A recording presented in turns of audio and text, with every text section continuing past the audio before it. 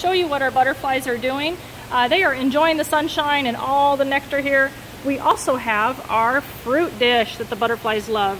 Uh, Safeway donates this fruit. It's expired fruit and the butterflies love it and you can see they're enjoying it. If you can get really close up, let's see if we can do that. You can see the proboscis and that's how they're getting the, the fermented juices out of that is with their proboscis and they are enjoying that. Stay tuned. We're going to also do a butterfly release and show you an, a moth party happening today here in the conservatory.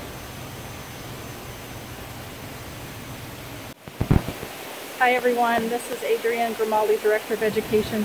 We are going to do a daily dose of butterflies out in the conservatory today. We got a couple things to share with you. We want to do a butterfly release. Uh, I just got kissed by a butterfly. Uh, we also want to show some uh, atlas moths that uh, have emerged and are out here. And a look. So we have 60 to 70 different species of tropical butterflies. And these are going to be released brand new flight for the day. Check it out. We have African moon moth. We have a Julia right here. Uh, that was a paper kite. We have, what else do we have here? They're raring to go. They love sunshine. Butterflies are solar powered.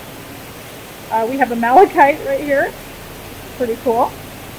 Why, be free. And we have another paper kite. Let's see if we can get him to come out. Here he comes. We have. There we go. Oh, very nice, very nice. And one of my favorites is the Atala, and it's a small little butterfly. Let me see if I can find one here. This little guy right here is our smallest butterfly in the conservatory. So you can see it up close. He's going to take his flight. We have that little guy right there.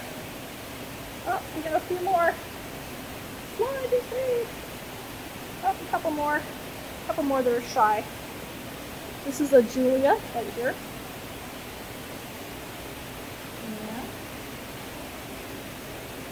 Let's go take a look at the Atlas moths.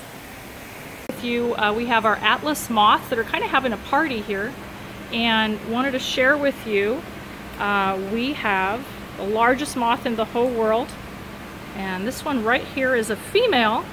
Uh, the females get quite large. Um, females have a larger abdomen and uh, are usually larger. Uh, the males here have smaller abdomens. Check this guy out here. That is so cool. So if you look at the wingtips, uh, it looks like a snake head and it has see-through windows that blend into the bark of a tree. Only lives five to seven days because it does not have a mouth part. It is living off of its reserves as a caterpillar. So this is a boy and we have our girl right over here. And they're just uh, having a moth party here